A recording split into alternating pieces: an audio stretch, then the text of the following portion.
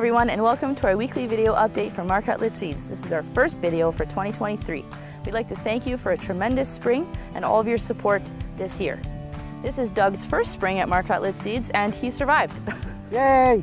It's been great to be part of the team and it's been great to meet a number of you and I'm looking, looking forward to meeting many more. And so our return deadline for this year is June 16th. Please ask that you bring back your unopened cleaned bags of seeds as well as pallets and pro boxes by June 16th. An extra thank you to our cooperators this year. We have a tremendous amount of plots in the ground. Um, big thank you for all your hard work with that and dedication. We're actually in a 75-day PKP in the Kleefeld area here, taking a look at some of our newer hybrids like a P70 822AM. Overall, emergence has been good this year. However, we are seeing in some fields that were planted into excess moisture where that furrow has cracked open, uh, leading to a bit of uneven emergence, as well as some blowing soil uh, near the end of May with the high winds and high temperatures, uh, leading to, again, some uneven emergence in soybeans and corn. I'm in a field of Pioneer soybeans near St. Anne, Manitoba.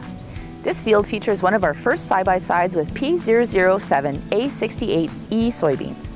The E stands for our E3 or Enlist technology. This allows you to use 2,4-D Liberty, and glyphosate on these soybeans.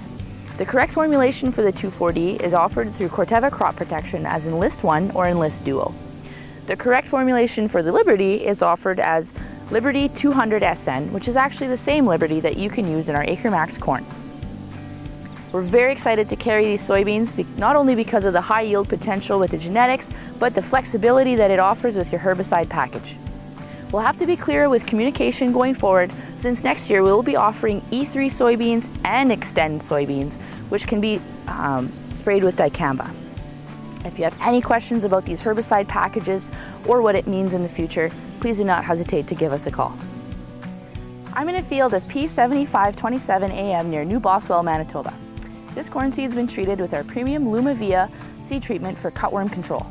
We haven't had reports of significant damage from cutworms this year, and we are leaving that stage of development for scouting and corn, but if you do have questions about Lumivia or other seed treatments, please let us know. The first pass of herbicide has been applied in this field and is uh, effectively taking care of those weeds, so that's great, that's what we like to see. The earlier the better when it comes to weed control, um, especially on that second pass before they get too big. Um, sometimes people like to wait to see and make sure that that flush is big enough to capture weeds. However, um, the control will be better on the smaller weeds, so something to remember. If you are looking to boost that second pass with a bit of a nutrient package, we do have Manzin Phos available, which is just a foliar additive to that glyphosate on your second pass for corn. We're very excited for another season of agronomic videos for you. If you have any suggestions for topics or you have any questions about things in your fields, please do not hesitate to call. Thanks so much for watching and have a great weekend.